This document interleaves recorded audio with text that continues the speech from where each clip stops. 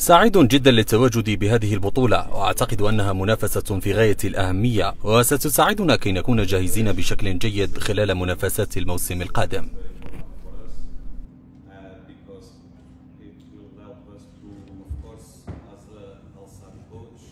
بطبيعة الحال نحن نتواجد بالسد القطري. هنا دائما النادي يسعى للمنافسة وتحقيق الفوز. إذا سألتني هل نحن في أفضل حالاتنا الإجابة سوف تكون بطبيعة الحال لا. فكما يعلم الجميع أنا لازلت بمثابة مدرب جديد للفريق. خضت تقريبا خمسة أو ستة حصص تدريبية رفقة المجموعة كما لدينا بعض اللاعبين المصابين. لكنني أثق في جميع الموجودين.